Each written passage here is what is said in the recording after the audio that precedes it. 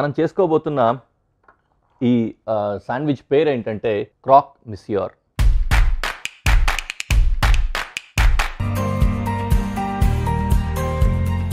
First stove వెలిగించి pans వేడి చేసుకుంటూ ఉందాం. రెండు ప్యాన్లు కావాల్సి వస్తాయి. ఒకటైతే కొద్దిగా ఆలస్యంగా కావాల్సి వస్తుందిలేండి. దాన్ని అలా ఉంచుదాం.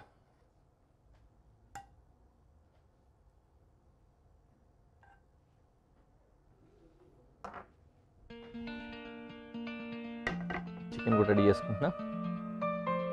హియర్ ఇట్ ఈస్ దీంట్లో ఏంటంటే సాస్ సపరేట్గా వీటిని అంతా కూడా సపరేట్ సపరేట్గా కుక్ చేసుకుంటాం. జనరల్గా ఏంటంటే శాండ్విచ్ అనేసరికి ఓన్లీ క్రిస్ప్గా రావడం క్రంచీగా రావడం ఇలాంటివే చూస్తూ ఉంటాము. కానీ ఇది మాత్రం కొద్దిగా సాగి ఉంటుంది అనమాట అంటే కొద్దిగా మెత్త మెత్తగా ముద్ద ముద్దగా ఉండే శాండ్విచ్ అనమాట మెత్త మెత్తగా ఉంటుంది. క్రీమ్లో కుక్ చేస్తాము. ఇంకా మనకు కావాలంటే ఇంకా డార్క్ థిక్గా వైట్ క్రీమ్ అంటాం కదా. ఫ్రెంచ్ పీపుల్ మామూలుగా ఇటాలియన్ శాండ్విచెస్లోని ఇలాంటి వాటిలో వాడుతూ ఉంటాము. అలాగే ఇటాలియన్ పాస్తాస్ ఇట్లాంటి వాటిలో కూడా యూస్ చేస్తూ ఉంటాం అలాంటి క్రీమ్ కూడా రెడీ చేసుకోవచ్చు. బట్ మన స్టైల్లో మనకి ఈజీగా ఉండడానికి మనకు అవైలబుల్ రెసిపీస్తో ఈరోజు డిజైన్ చేస్తామన్నమాట కొద్దిగా బ్రెడ్ కుక్ అయిన తర్వాత మర్చుకుందాం ఎనీవే ఇదైతే రెడీ అయిపోయింది. అయిన వరకు చాలు. తర్వాత మళ్ళీ ఎలాగూ క్రీమ్లో కుక్ చేస్తాం కాబట్టి అప్పుడు సరిపోతుంది.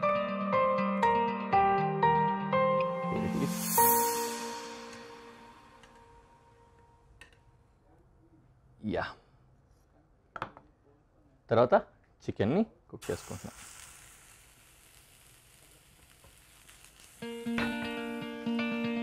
కొద్దిగా ఆయిల్ రిక్వైర్మెంట్ వచ్చేలా ఉంది నాకు. ఎందుకంటే అతుక్కుంటుంది కదా. వేసాను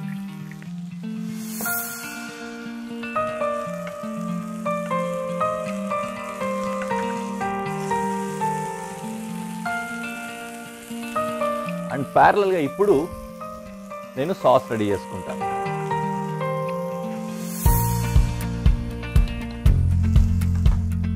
యా. ఈ పెనం వేడైపోతే దాంట్లో క్రీము మస్టర్డ్ ఇవి వేసుకొని రెడీ చేసుకోవచ్చు అనమాట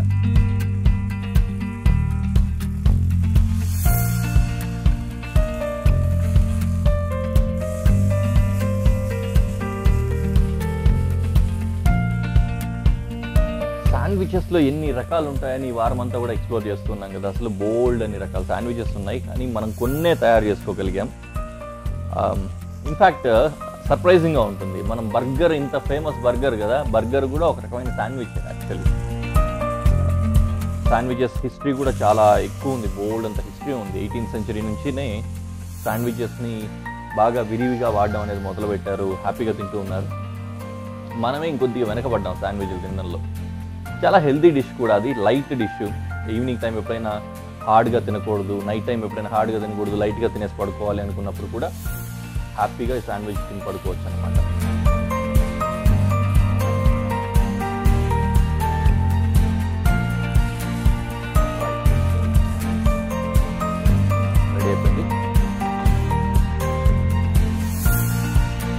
ఇప్పుడు ఇందులో కొద్దిగా క్రీమ్ క్రీమ్తో పాటుగానే మస్టర్డ్ వేస్తాను కొద్దిగా మస్టర్డ్ పేస్ట్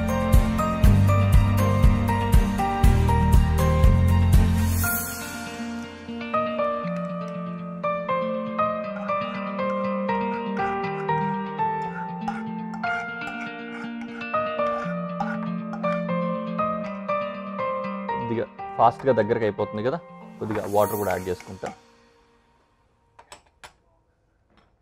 జస్ట్ కొద్ది టైం కోసం అంతే. యా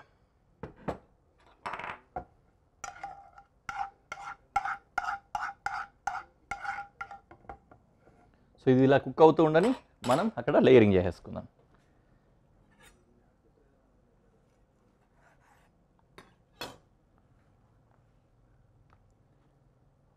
దీంట్లో స్టెప్ బై స్టెప్ ఒకటోటే పెట్టేసుకుంటాం అనమాట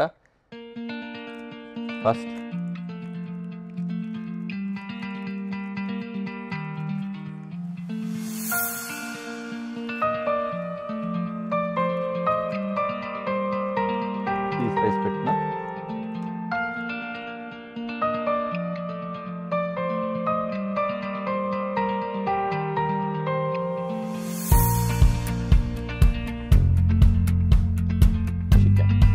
పెట్టేసి పైనుంచి మోజరెల్లా వేస్తున్నాం అన్నమాట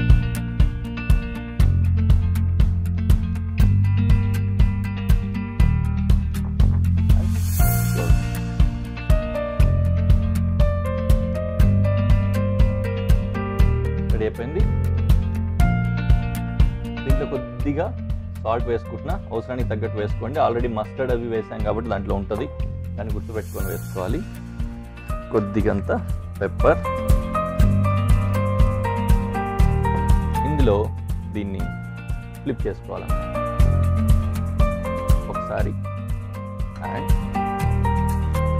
రెండోసారి రెండు వైపులకి అంటడానికి సరిపోయే విధంగా ఇట్లా వేసుకుంటాను లోపల ఆ జ్యూసీగా ఉన్న సాస్ అంతటిని కూడా అది లోపలికి సక్ చేసుకుంటుంది. లాక్కొని మెత్త మెత్తగా తయారవుతుంది. అవనివ్వండి. అలాగే లోపల ఉన్న మోజరెల్లా కూడా మెల్ట్ అవ్వడం స్టార్ట్ అవుతుంది. అది కూడా మెల్ట్ అయిపోవాలి లో ఫ్లేమ్లోనే సో ఈ విధంగా మొత్తం మీద నేను కుక్ చేసేసి ఒకసారి మీకు ప్రెజెంటేషన్లో పెట్టి చూపిస్తాను. ఆల్రెడీ మొదలెల్లా మెల్ట్ అయ్యి సాగుతుంది చూస్తారు కదా? ఎనీవే రెడీ అయిపోయిన తర్వాత ప్రెజెంటేషన్లో పెట్టి చూపిస్తాను.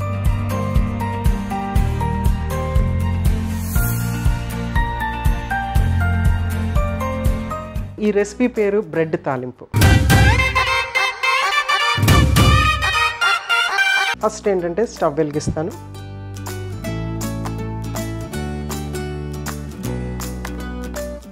తర్వాత ప్యాన్ పెట్టి ప్యాన్ కొంచెం హీట్ అయ్యే వరకు వెయిట్ చేద్దాం.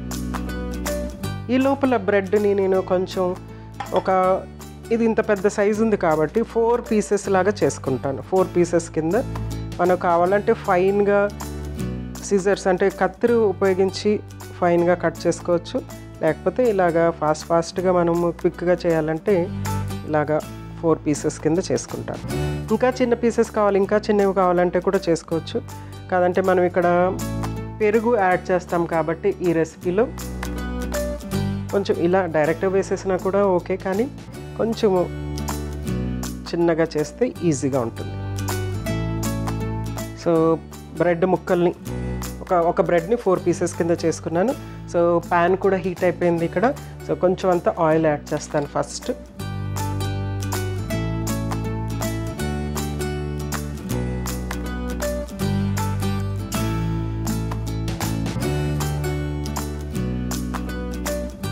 తర్వాత కొంచెం అంతా ఆవాలు.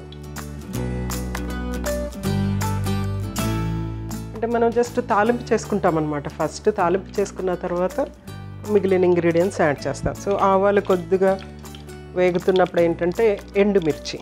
జస్ట్ ఫ్లేవరింగ్ కోసము.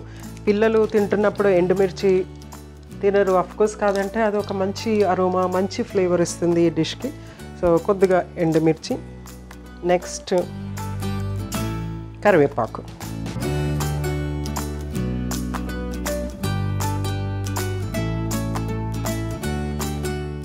సో ఇది చక్కగా వేగేసిన తర్వాత కొంచెం అంత పసుపు కూడా ఇప్పుడే యాడ్ చేసేస్తున్నాను. నెక్స్ట్ మనము బ్రెడ్ ముక్కలు.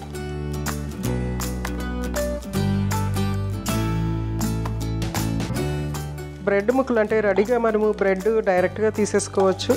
అయితే ఈ తాలింపులో బాగా కలిసేటట్టుగా చక్కగా కలిసిపోయి మంచి ఫ్లేవరు యాడ్ అవుతుందన్నమాట బ్రెడ్కి. మంచిగా క- కలిసేటట్టు కొద్దిగా లైట్గా వేయించుకొని నెక్స్ట్ పెరుగు యాడ్ చేసేసుకుంటే మనకి రెసిపీ రెడీ అయిపోతుంది. సో చక్కటి కలర్ కూడా వచ్చింది చూడండి పసుపు ఉన్నందుకు మంచి కలర్ కూడా వచ్చేసింది. కొద్దిగా రెండు నిమిషాలు ఉంటే ఇది బ్రెడ్ చక్కగా వేగిపోతుంది. ఎందుకంటే బ్రెడ్కి ఆల్రెడీ కుక్ అయిపోయింది రెడీ టు ఈట్ కాబట్టి.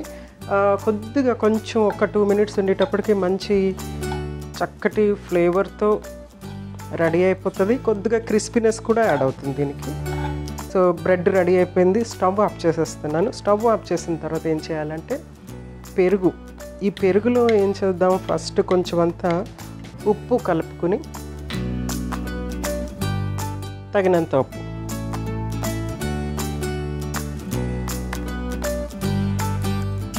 సో స్టవ్ ఆఫ్ చేసేసాను. బ్రెడ్ బ్రెడ్ కూడా రెడీగా ఉంది వేగిపోయి. సో పెరుగులో కొంచెం తగినంత ఉప్పు కలుపుకొని మనము దీనికి యాడ్ చేసేట్లా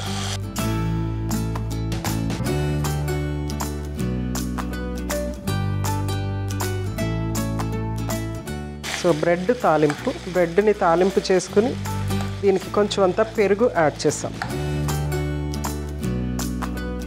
చాలా చక్కటి అరోమా వస్తుంది. చాలా మంచి వాసన వస్తుంది ఇది వేగుతుంటే ఆ హీట్కి పెరుగు మిక్స్ అయ్యి చాలా మంచి వాసన వస్తుంది. సో రెడీ అయిపోయింది. జస్ట్ ఒక టూ మినిట్స్ అయిన తర్వాత ఇది సర్వ్ చేసుకోవచ్చు. ఎందుకంటే పెరుగు దీనికి చక్కగా పడుతుంది.